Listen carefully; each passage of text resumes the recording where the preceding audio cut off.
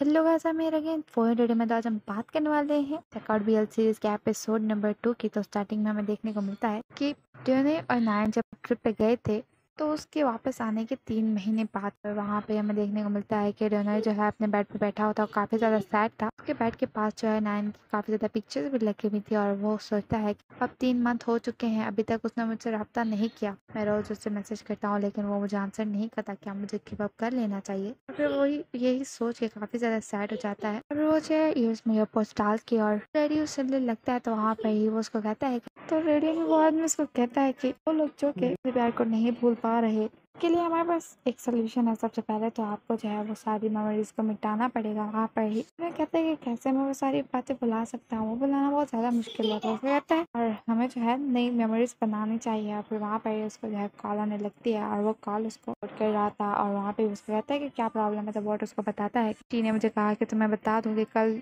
जो है मीटिंग है तो उसको कहता है कि ये बात तो मुझे अभी क्यों बता रहे थे मैं तुम्हें बताऊँ। तो मुझे ये बात समझ नहीं आती। आपस में बात क्यों नहीं करते? और टी जो है, क्यों कह रहा है अपना मैसेज तुम्हें देने के लिए? और वहाँ पर बॉट उसको कहता है कि ठीक है तो फिर कल सुबह नौ बजे मिलते हैं, उसके बाद कॉल करके देता है। वहाँ पर ट्रेनर जो है लेट जाता है, फिर वहाँ पे वो सोचता है कि एक बार उसने मैसेज किया था। वो नाइन से पूछ रहा था कि क्या तुम सो रहे हो? और उसने नाइन को जो अपनी पिक्चर बना के भेजी भी थी नाइन ने उसको देखा भी, लेकिन उसको आंसर नहीं किया और इस बात पे वो बहुत ज़्यादा अपसेट हो गया था। वहाँ पर ट्रेनर को रहता है कि इस बारे में सोचना बंद करो, क्योंकि वो अब तुमसे कॉन्टेक्ट नहीं करना चाह रहा है वो अब तुमसे बिल्कुल भी बात नहीं करता। उसके बाद हमें देखने को मिलता है कब सुबह हो चुकी थी और डनर जो है तैयार हो रहा था पहले वो। रोज अपने कपड़े चेंज कर रहा था और फिर अगले सीन में हमें देखने को मिलता है। डनर जो है हेड डाउन करके सोया हुआ था, वहाँ पे उसके बाद टी आता है। और टी जो है, उसको पानी भी देता है तो वहाँ पर डिओनर उसको कहता है कि तुम आ गए तो फिर क्या हम मीटिंग स्टार्ट करें? तो वहाँ पर डिओनर से टी पूछता है कि क्या तुमने ब्रेकफास्ट किया है? तो उसको कहता है कि नहीं, लेकिन मैं एडजस्ट कर सकता हूँ। पहले हम मीटिंग करेंगे, उसके बाद मैं ब्रेकफास्ट कर लूँगा। तो वहाँ पर उसको कहता है कि नहीं, मैं ब्रेकफास्ट लाया हूँ और फिर पहले ब्रेकफास्ट करते हैं। उसके बाद हम जो है, बात करेंगे मीटिंग की। तो वहाँ पे वो उसके लिए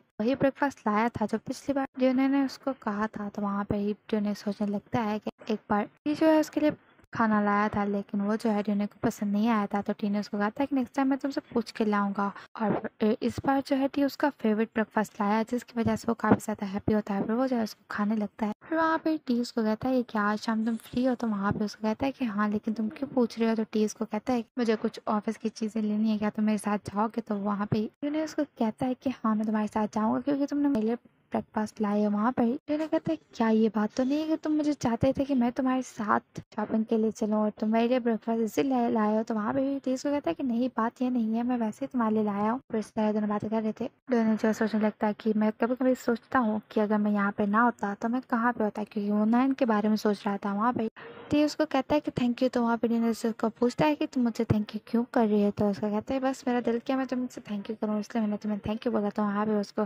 कुछ बोलने ही वाला था तो टी जो है ट्यूने अंगूठी पे जो लगा हुआ था, वो जो है अपने मुँह में डाल देता है वहाँ पर ही ट्यूने जो है जल्दी से हाथ को पीछे करके कहता है कि टी ये तुम क्या कर रहे हो? तो मुझे प्रॉमिस नहीं किया था कि हम दोनों सिर्फ़ फ्रेंड्स रहेंगे, हम दोनों डेट नहीं कर रहे तो वहाँ पर ये दोनों इसके बारे में भी बात कर ही रहे थे तो वहाँ पे जो है बहुत आ जाता है। वो कहता है तुम दोनों ने मुझे क्यों नहीं इनवाइट किया ब्रेकफास्ट के लिए? तो वहाँ पे उसको कहता है कि, मैं तुम्हारे लिए पहले ब्रेकफास्ट ला चुका हूँ। अगर तुम्हें चाहिए तो तुम जाके खा सकते हो। फिर वहाँ पे उससे पूछता है कि, मैंने तुम्हें कुछ काम कहा था? तुम्हें कहा था कि मेरी कंपनी के लिए फाइंड आउट करो क्या तुमने फाइंड आउट किया? तो वहाँ पे ही तो उसको कहता है कि, मैं बिल्कुल भूल गया था, लेकिन मैं उसको जल्दी खत्म कर दूँगा। फिर वहाँ पे उनको कहता है कि, ठीक है तो मैं तुम दोनों को और ज़्यादा तंग नहीं करूँगा और मैं जा रहा हूँ। फिर वहाँ से चला जाता है। वहाँ पे टी और डिनर जो है स्मार्ट करने लगते हैं। उसके बाद हमें देखने को मिलता बोट और विनय को समझा रहा था कि नेक्स्ट हमें क्या करना है, क्योंकि उसको कहता है कि काफ़ी टाइम हो गया है। हमारा लास्ट प्रोजेक्ट ख़त्म होने के बाद हमें किसी भी तरह का न्यू प्रोजेक्ट नहीं मिला और ना ही हमें कोई शूटिंग करने का चांस मिला है और ना ही हमें कोई फ़िल्म मिली है।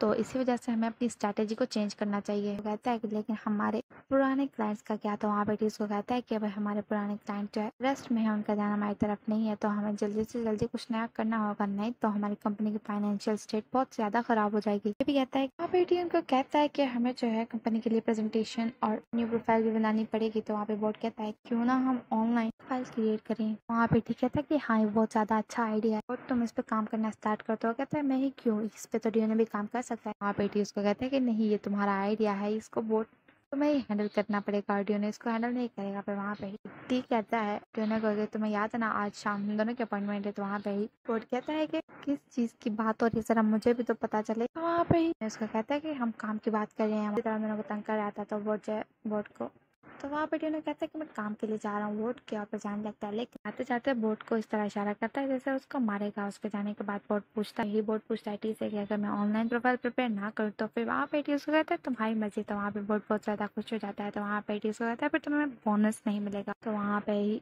उसको कहता है कि तो सीधा बोलो ना, मेरे पास कोई चॉइस ही नहीं है, मुझे ये करना ही पड़ेगा। उसके बाद हम देखने को मिलता है कि जिन्हें जो है कैमरा पकड़ के और वीडियो शूट कर रहा था और कह रहा था कि मैं इस कैफ़े में आया हूँ यहाँ के खाना बहुत ज़्यादा अच्छा है। और वहाँ पे वो कहता है कि जिस तरह देखे इस सीजर को कितना ज़्यादा सॉफ्ट और क्रीमी दिख रहा है वहाँ पे। ही उसको कहता है कि तुम किसकी बात कर रहे हो? डिश की। यहाँ पे मेरी। तो वहाँ पे उसको कहते हैं कि तुमने मेरी पूरी वीडियो ख़राब कर दी फिर वहाँ पे दोबारा से वो वीडियो बनाने लगता है। तो दोबारा से टी उसकी वीडियो में बोल देता है तो वहाँ पे ही जिन्हें कहता है कि ठीक है तो मैं अब वीडियो बनाना स्टॉप करता हूँ क्योंकि मुझे इसको दोबारा एडिट नहीं करना मेरे लिए बहुत ज़्यादा मुश्किल हो जाएगा। और फिर टी उसको कहता है कि चलो उसको खाओ, फिर वहाँ पे अगर मैं यहाँ ना होता तो मैं कहाँ होता यहाँ पे मैं किसके साथ होता? और फिर वो सोचता है कि उसके आगे नाइन बैठा हुआ है और उसका कह रहा है कि इस डिश को पकड़ो ताकि मैं तुम्हारी पिक्चर लूँ। और फिर वो इस तरह उसकी पिक्चर बना रहा था। फिर नाइन उसको कहता है कि इस डिश को अपने और ज़्यादा क्लोज करो। जब भी जैसे ही वो उसको क्लोज करता है तो वो जो है उसकी लिप्स पर लग जाती है। और फिर नायन उसको कहता है कि तुमने अपने फेस को उसको लगा दिया। रुको मुझे साफ़ करने दो। नायन जो उसके लिप्स है वो